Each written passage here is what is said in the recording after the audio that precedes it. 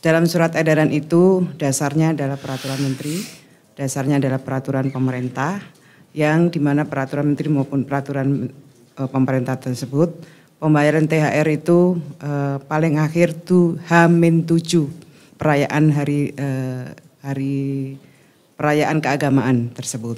Jadi uh, dan kemarin saya sudah sampaikan juga saya berharap meskipun ketentuannya itu Hamin 7, saya berharap perusahaan-perusahaan untuk bisa membayar lebih cepat dari ketentuan itu.